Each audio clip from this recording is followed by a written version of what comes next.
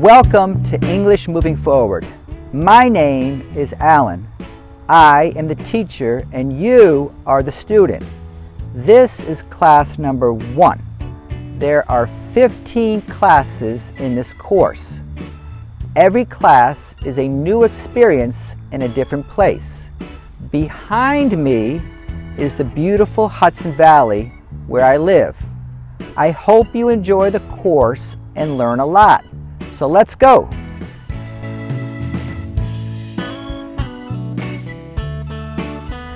Today's keywords are city, state, country, thank you, please, you're welcome, behind, across, near, and in front of.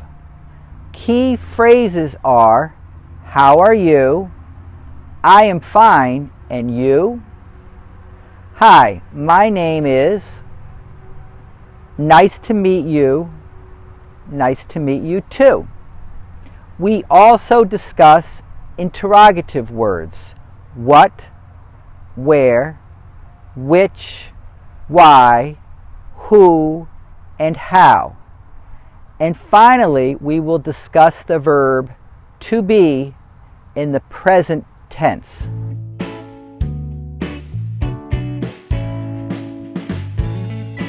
Hi, my name is Alan.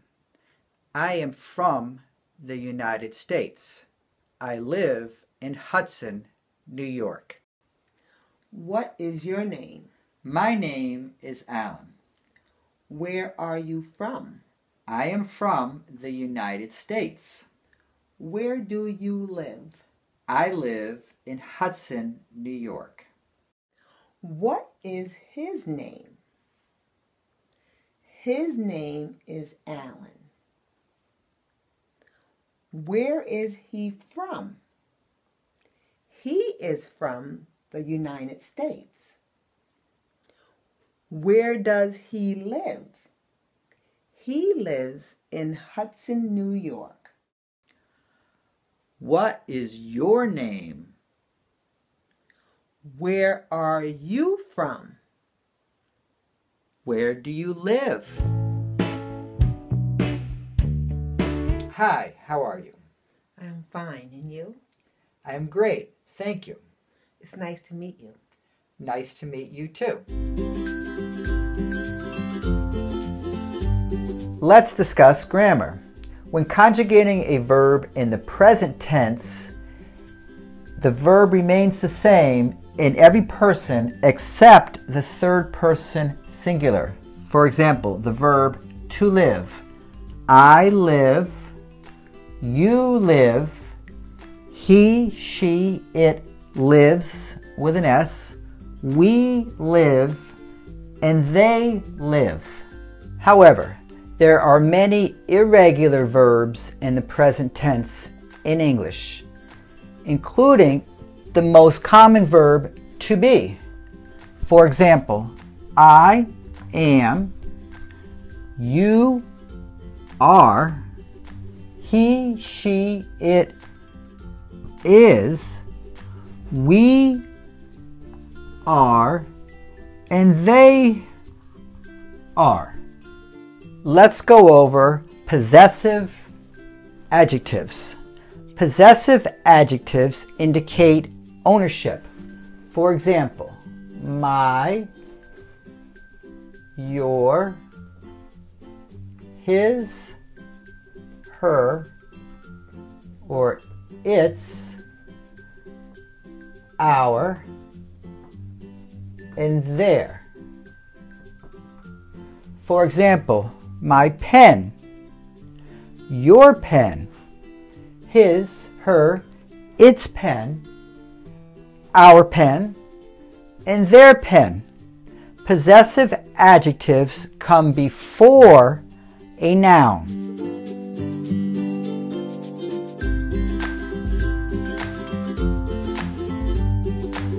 What is your name? My name is Pat. Which country are you from? I am from the United States. Where do you live? I live in Hudson too, and I like Hudson. Why do you like Hudson? because the people are very friendly.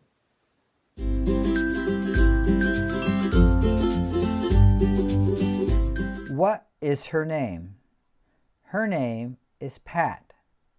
Which country is she from? She is from the United States. Where does she live? She lives in Hudson, New York. Why does she like Hudson? She likes Hudson because the people are very friendly. How long have you lived in Hudson? I have lived in Hudson for 56 years. What do you do? I am a healthcare worker. Who is your best friend? My best friend is Laura. When is your birthday? My birthday is May 5th, which is Mexico's Independence Day. This is Pat. Pat is from the United States. She lives in Hudson, New York. Hudson is a city. New York is a state. Pat has lived in Hudson for 56 years. She is a healthcare worker and her birthday is May 5th.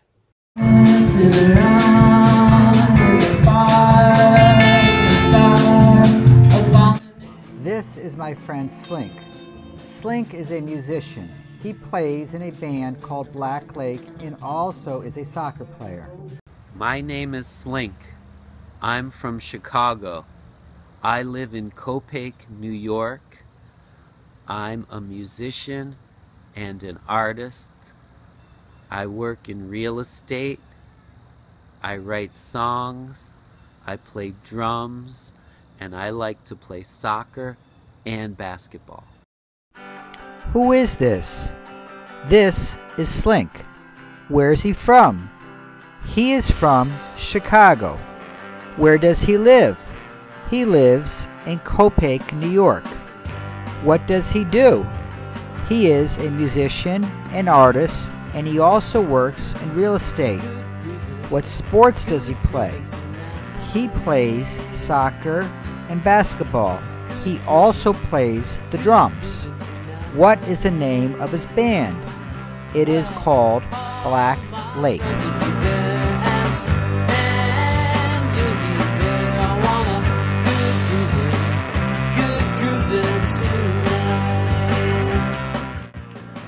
Okay, let's take a quick grammar pause.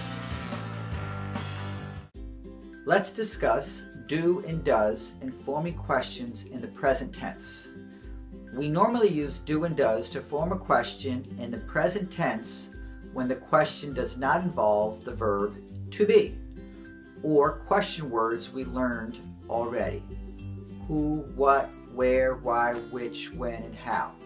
So we have do I, do you, does, D-O-E-S, he, she, it, do we, and do they. Okay, let's show some examples. Do I live in Hudson? Yes, I do. Do you live in the United States? No, you don't. Do you speak English? You reply, Yes, I do. A little. Do you speak Portuguese? You reply, No, I don't. Or maybe you do. Does Slink write songs? Yes, he does. Does Slink live in Hudson? No, he doesn't. This is the negative. No, he doesn't. Does Pat like Hudson? Yes, she does. Does Pat live in Canada? No, she doesn't. The negative also. Do you write songs? Do you play an instrument? Which instrument? Does it snow in Brazil? No, it doesn't. Okay, that's the negative. Does it snow in Switzerland? Yes, it does.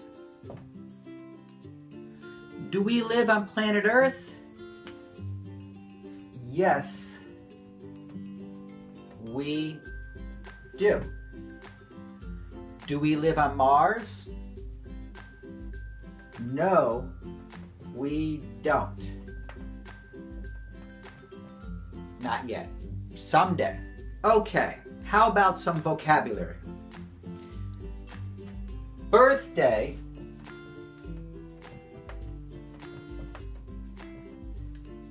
is the day you were born. My birthday is April 27th. Pat's birthday is May 5th. When is your birthday? Another word is real estate agent. A real estate agent is someone who sells property and buildings.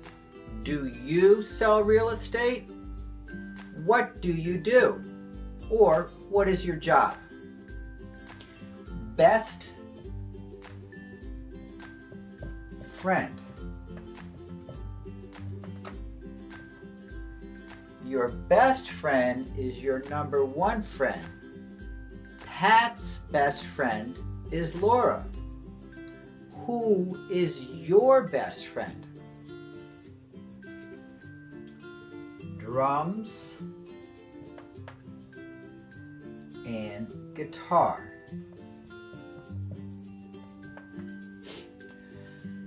Slink plays the drums.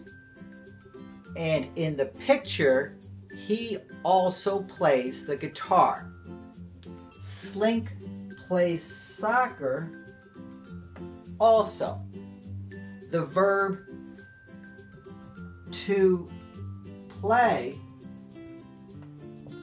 can be used for instruments or sports. So Slink plays instruments. Slink also plays soccer, which is a sport. Last word is musician. Slink is a musician. A musician is someone who plays an instrument or who sings. Do you have any brothers or sisters? Yes, I do. I have one brother. Where does he live? He lives in downtown Hudson. Do you have any children? Yes, I do. I have one son. Where does he live? He lives near Albany, the capital of New York.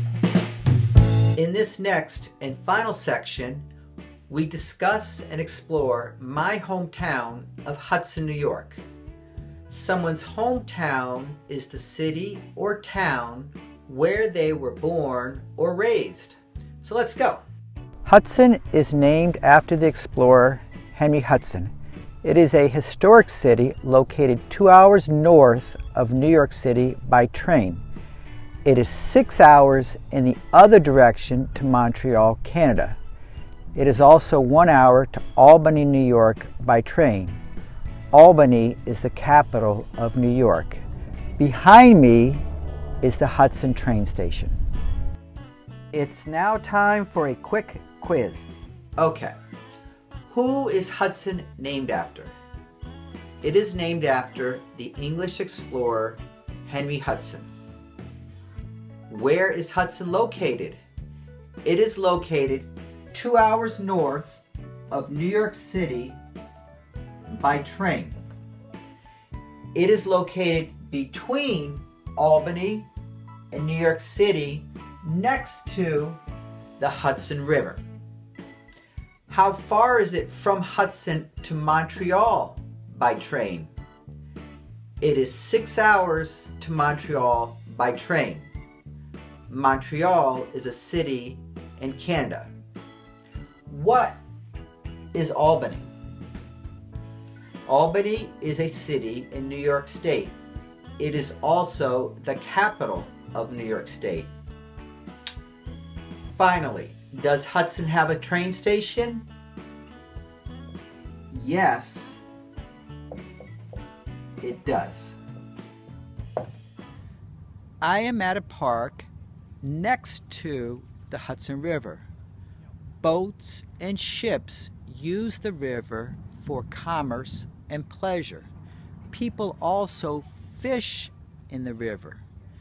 Behind me is the lighthouse. Across the river are the Catskill Mountains. It is springtime in New York and we are at the 7th Street Park in Hudson. The temperature is about 60 degrees Fahrenheit and the weather is very comfortable. I am in front of Warren Street. Warren Street is the main street in Hudson. I almost forgot a vocabulary word, which is one of the most important words in the English language. P L E A S E. Alan, I need your pen. Pat, please come back. That was not nice. You are being very rude. You could have my pen, but what should you say? I'm sorry. May I please borrow your pen? Yes, you may. Thank you. You're welcome. Please, thank you, and you're welcome are all polite words to use in English, which you should use whenever possible. In this last section, we review what we just saw. Then we discuss the entire class. So, what is the Hudson River used for? It is used for commerce and pleasure, and people also fish on the river. Where is the lighthouse in the video? It is behind me. Where are the Catskill Mountains? They are across the river. How is the weather in Hudson in the springtime? It is very comfortable. Finally, what is Warren Street? It is the main street in Hudson. In this first class, we learned how to conjugate verbs in the present tense, how to ask questions with do and does, how to use interrogative words, and how to greet people. Please click on the link below for additional exercises and fun activities. While I was learning Portuguese in college, the professor introduced us to Brazilian music, which helped us to learn the language and also opened us up to popular Brazilian songs and musicians. In every class of English Moving Forward, we will also introduce a popular song to reinforce what we learned. Next class, we will discuss the past tense. We will also discuss the interesting history of Hudson, which has a peculiar connection to the sea.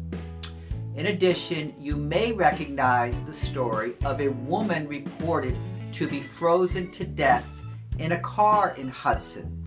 We will talk to the lady who called police.